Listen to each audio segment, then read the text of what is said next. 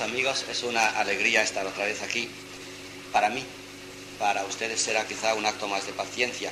Yo procuraré que la paciencia que tengan ustedes que adoptar sea la mínima posible.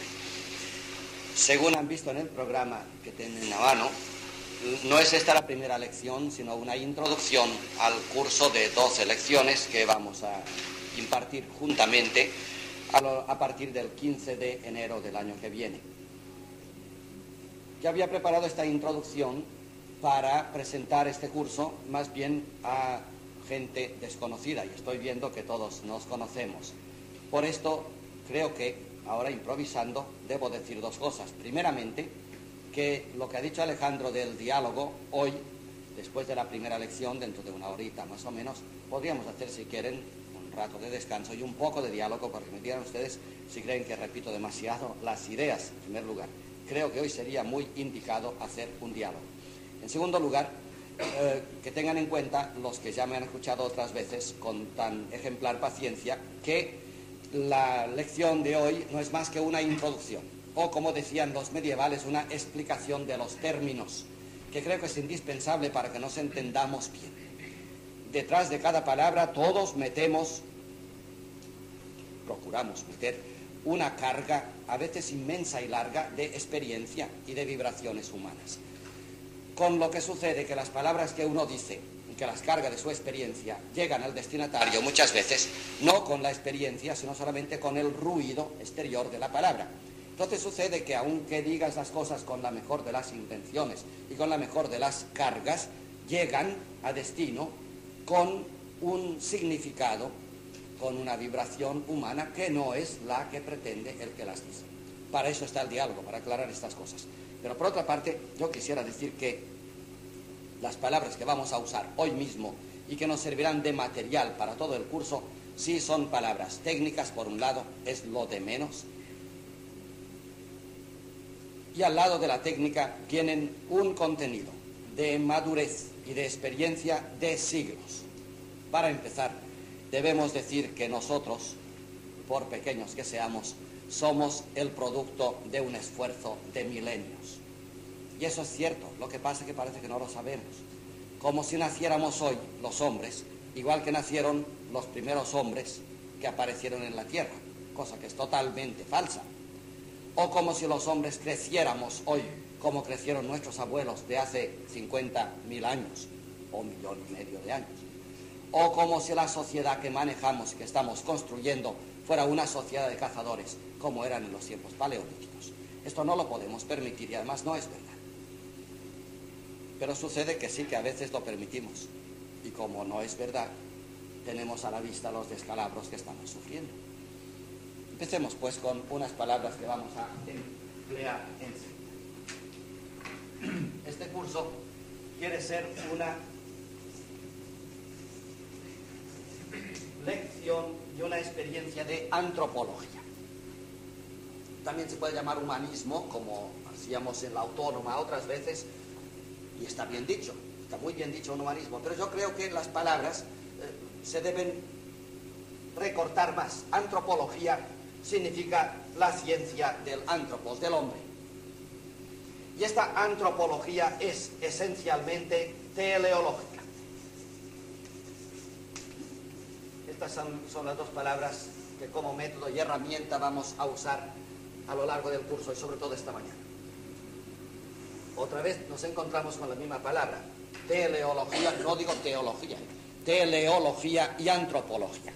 Se trata de ciencias logos, saberes, un saber del hombre. Y este saber del hombre necesariamente es teleológico, porque el hombre es un ser que tiene una finalidad.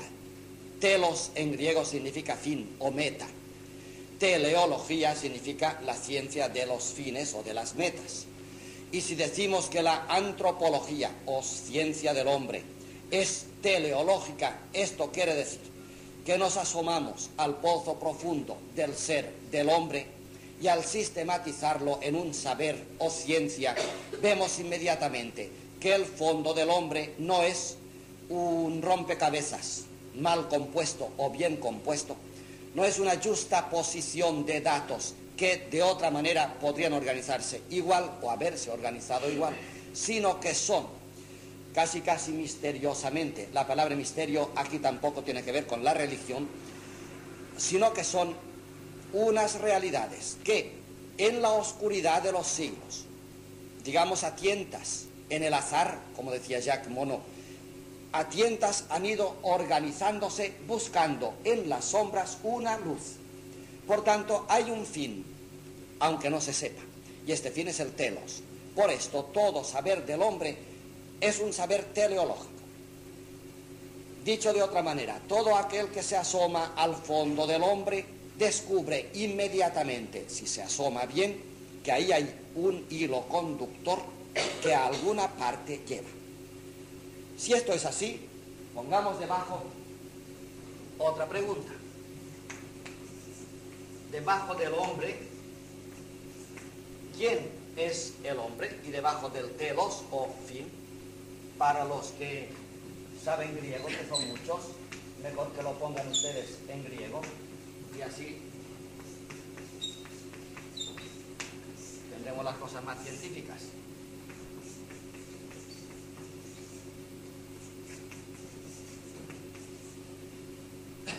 Y debajo de la teleología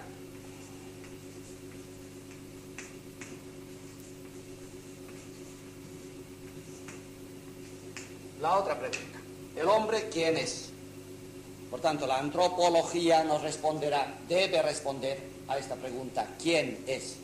Y la teleología del hombre responderá a la pregunta, ¿a dónde va el hombre? ¿A qué? ¿Para qué es? ¿Mm? Por tanto, qué es el hombre y para qué es el hombre, el ser en sí y el ser para sí, de Sartre.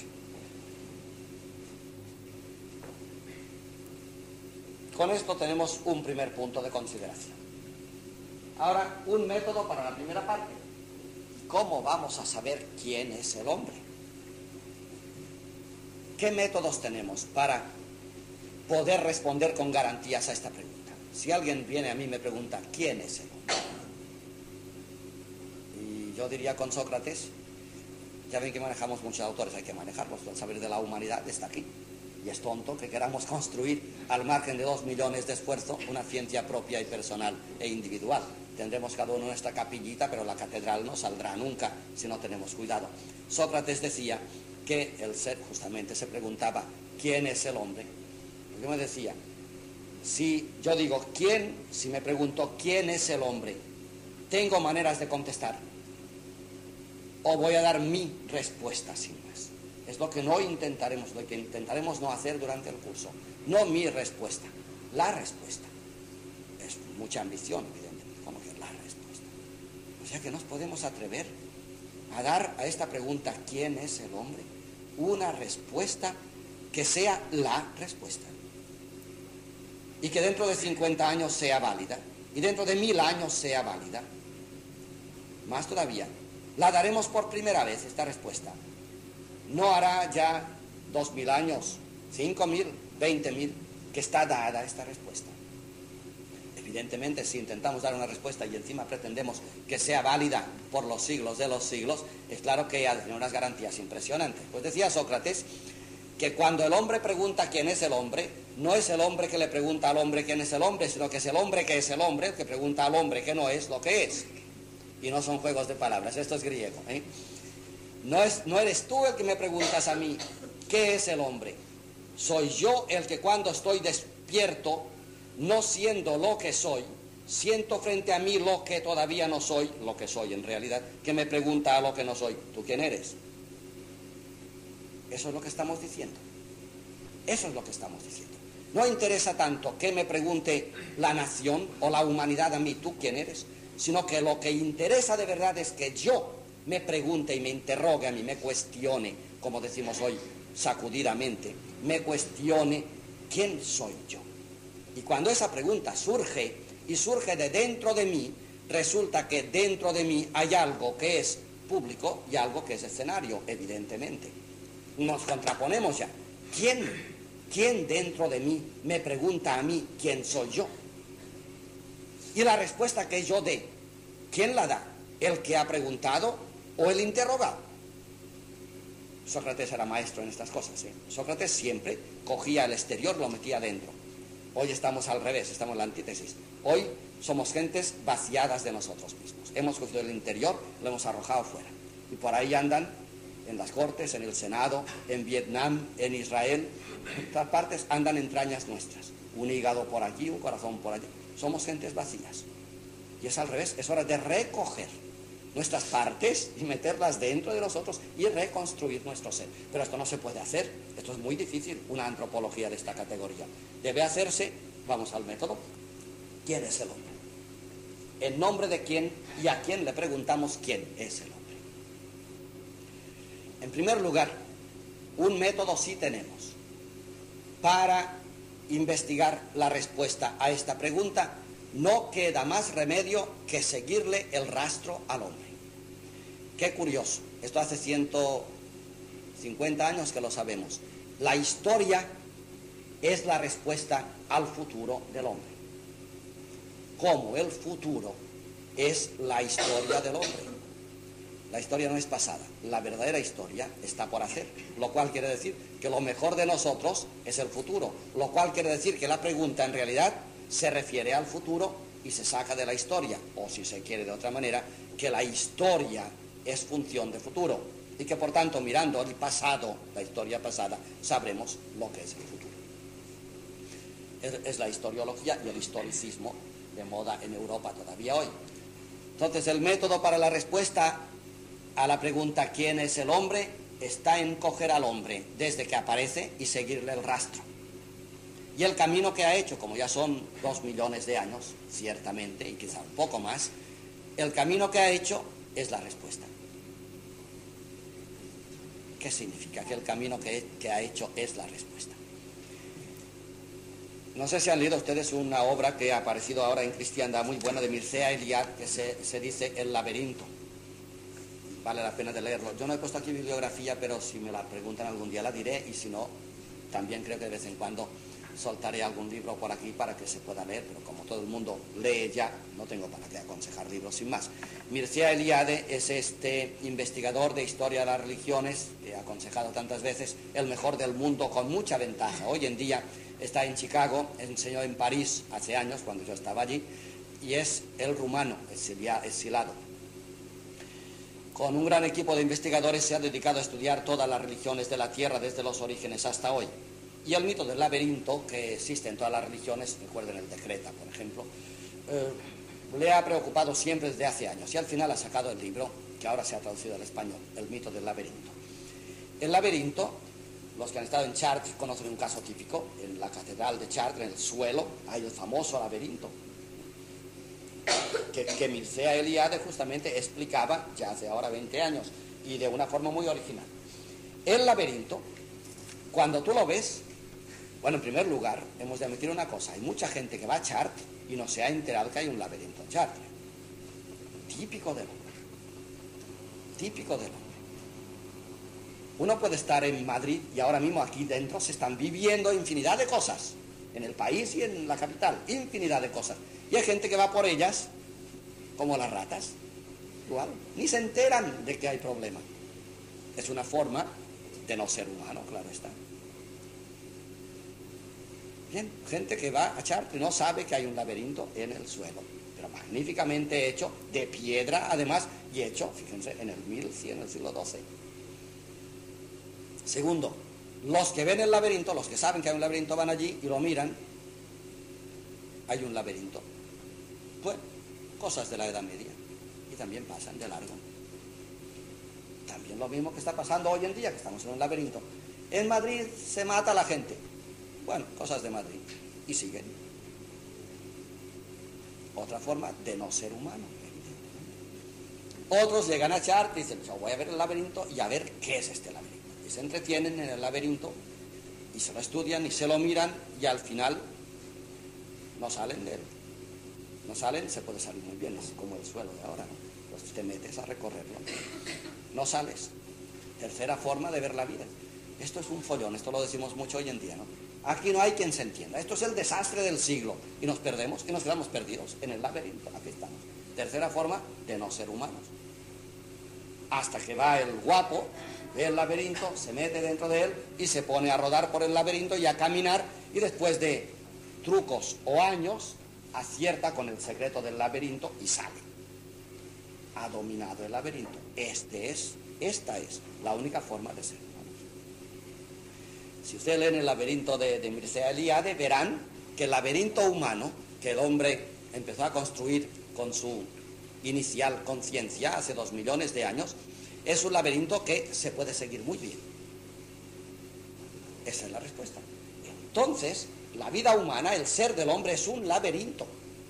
Y el hombre durante la vida, consciente o inconscientemente, está en el laberinto. Hay quien no se entera, hay quien pasa de largo, hay quien se pierde en él y hay quien sale de él el que sale de él tiene la respuesta, como todos los laberintos del mundo. ¿Cuál es pues la respuesta? Si el laberinto existe y si en el laberinto nos podemos perder y si puede parecer incluso irracional el laberinto, el que conoce el secreto del laberinto, ¿qué conoce? ¿Qué secreto conoce? ¿Cuál es el secreto del hombre? Bueno, este laberinto es, tú pones una rata en un laberinto y empieza a caminar y a tantear y camino que no pasa, vuelve atrás hasta que encuentra la salida. Si tú pones una rata en un laberinto de esos de rata, ¿no? Donde ha de buscar el queso y la salida, si pones una rata en el laberinto y no se mueve, y se muere ahí sin moverse la rata, ni sabes qué clase de espíritu o intención tiene la rata, ni sabes si le gusta el queso, ni sabes si es una rata conformista que se contenta con su rincón y se muere de hambre en el rincón.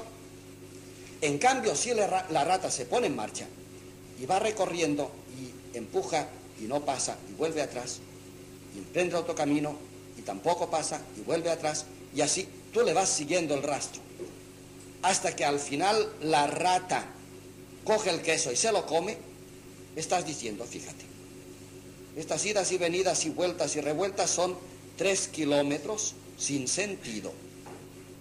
No sin sentido no, porque la rata al final ha dado con el queso, lo ha comido exactamente. De dos kilómetros de recorrido perdido muchas veces, buscaba un queso.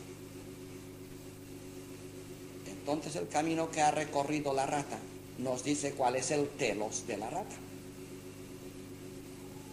Si yo no sé que hay un queso al final del laberinto, y no sé tampoco exactamente lo que es un, laberinto, y veo la rata que por ahí se mueve digo, una rata tonta, tonta, se mueve, va, viene, vuelve atrás, empuja, se para, una rata tonta. Pero si la sigo bien el rastro, al final digo, no, aquí lo que pasa es que la rata olía un queso y como son infinidad de callejones que no pasan, después de dos días de esfuerzo y de tantear y perder, al final ha dado con el callejón bueno y ha comido el queso. Desde el primer momento en que se movió la rata, en movimientos que parecen tontos porque van y vienen y no pasan, la rata buscaba un queso que había olido o del cual tenía hambre. Entonces el camino recorrido por la rata me enseña qué es lo que pretende la rata. Así pues el camino recorrido del hombre desde dos, mil, dos millones de años hasta hoy me dice qué es lo que pretende el hombre. Me dice, bueno, sí, qué es lo que pretende el hombre, y al decirme qué es lo que pretende, como veremos, me dice quién es el hombre. Entonces se trata de que construyamos una antropología contestando a la pregunta ¿quién es el hombre? a través del recorrido del hombre a lo largo de la historia. No hay otro camino. No sé si era Xenófanes, aquí he copiado una frase, Xenófanes que decía, los que desconocen la historia, es muy griego, están condenados a rehacerla. Qué triste. Es una condena además. Los que desconocen la historia están condenados a rehacerla. Claro, e, es como la rata, que si la rata se muere y pones otra, tiene que empezar de nuevo la otra el laberinto. Y si se muere y pones otra, empezará de nuevo. En cambio, la rata vieja ya sabe los caminos que no pasan y ya no lo repite. Y ya va hasta el queso. Bueno, pues el hombre es igual. Si sabe su historia, desde luego no repite los errores. Y en segundo lugar, acumula en su mochila todos los aciertos. Con lo cual, más fácilmente, sin perder tiempo, encuentra el queso. Y con a más velocidad, encuentra el queso. Así pues, lo primero, conocer la historia. hemos de saber por dónde ha pasado este hombre y así veremos qué es lo que pretende este hombre. No vamos a hacer evidentemente una historia de la humanidad, esto se da por hecho en sus grandes metas. Sí, desde luego, invocaremos o reconstruiremos alguna vez las grandes metas o hitos de la historia del hombre, pero la historia no la vamos a hacer. Por otra parte, no crean ustedes que lo que estoy diciendo es que la historia, como decía el historicismo, que la historia es la solución de los problemas del hombre. No lo es. La historia es el método de investigación para responder a la pregunta ¿quién es el hombre? La historia es la herramienta, no es la respuesta. Si una bujía del coche no funciona, se afloja con una llave. Pero la llave no es la bujía, la llave afloja la bujía. Entonces es el instrumento, la llave que vamos a manejar es la historia. Esta nos llevará a entender quién es el hombre. La historia no es la solución del hombre, es la llave, es el método o la herramienta para trabajar.